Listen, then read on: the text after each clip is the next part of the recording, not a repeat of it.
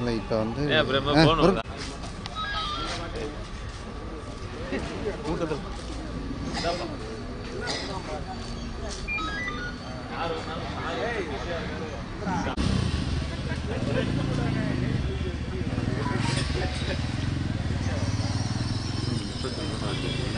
ஆ,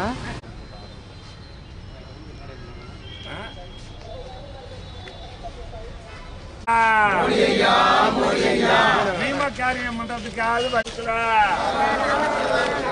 நீம காரியம் பண்றதுக்காக வழி ஐயா. வழி ஐயா காரியம் பண்றதுக்காக வழி விடுங்க ஐயா வழி விடுங்க ஐயா. விவசாயிகள் அடிமையா. அடிமையாக மாற்றாதே மாற்றாதே.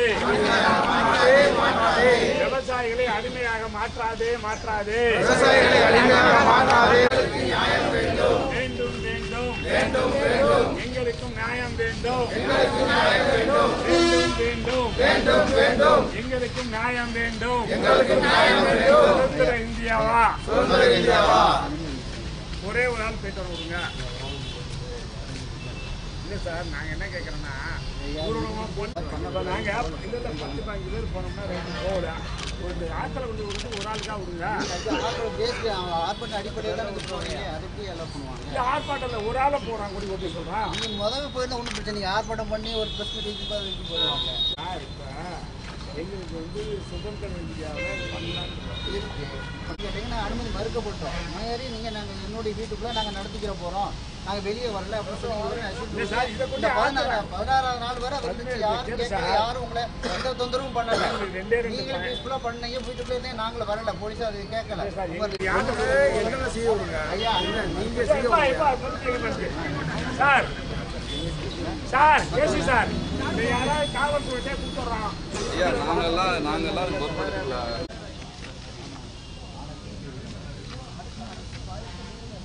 ஆனந்தகுமார்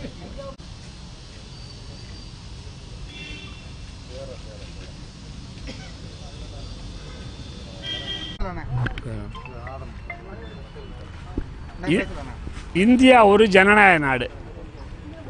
ஜனநாயக நாட்டில் பேச்சுரிமை இருக்கிறது.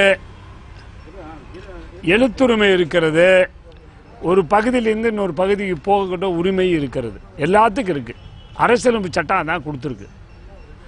பிரிட்டிஷ் ஆர்மியை எதிர்த்து போராடினதே அதுக்கு தான் இன்று இந்த இந்தியாவில் நாங்கள் டெல்லியில் போய் போராடக்கூடாதுன்னா இது கொடுமையா இல்லையா?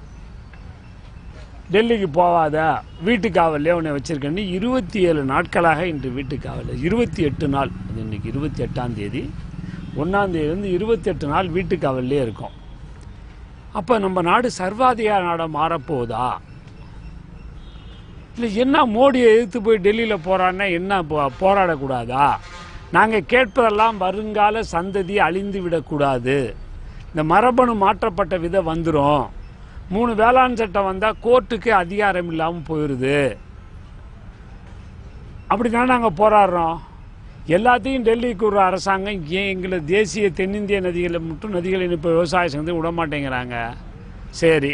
இந்த விவசாயிகள் லாபகரமான விலை தெரிலன்னு செத்து போயிட்டாங்க. வச்சு நேற்று பூஜையெல்லாம் பண்ணி ஆற்றுல இந்த பூவை விடுறதுக்கு கிளம்புனா எங்களை மறிக்கிறதுனுடைய நோக்கம் என்ன? விவசாயம் தான் இந்த இப்போ அடிமை.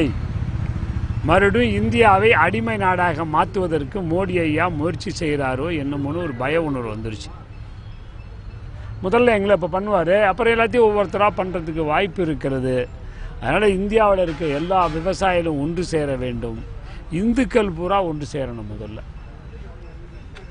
இல்லைன்னா எல்லாத்தையும் அடிமை ஆக்கிடுவார்னு ஒரு பய உணர்வு இருந்துச்சு விவசாயி நீங்க என்ன போராட்டம்?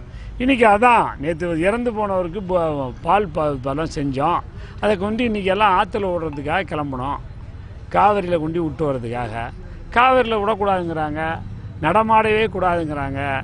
ஒரே ஒரு ஆள் போய் கொண்டு வர- அதையும் விட மாட்டேங்கிறாங்க. இல்லை எங்களை கைது செய்யுங்க ஜெயிலில் கொண்டு போடுங்கன்னா அதுவும் போட மாட்டாங்களாம். தற்காலிகமாக தடுத்து நிறுத்தி அப்படியே கூட்டி வந்து சா விட்டுறேங்கிறாங்க. இது என்ன ஆகாது இதுதான் சர்வாதிகார நாடு.